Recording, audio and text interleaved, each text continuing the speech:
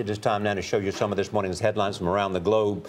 The Wall Street Journal reports on claims that two Chinese telecom companies pose a national security threat to the United States. Last night on 60 Minutes, the chairman of the House Intelligence Committee recommended that American companies should not do business with Huawei Technologies. A congressional report due out today says Huawei and a second firm, ZTE, have equipment that could be used for spying.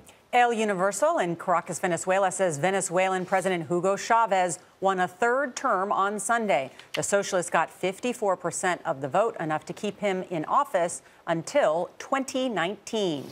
USA Today reports two Justice Department agencies, the ATF and the DEA, do not know how often informants are given permission to break the law. The strategy is under new scrutiny after the controversial Fast and Furious gun running program first exposed by CBS News. And Florida Today reports on the launch of SpaceX Falcon 9, the unmanned cargo ship rocketed into orbit Sunday from Cape Canaveral. It is the first private spacecraft to resupply the International Space Station.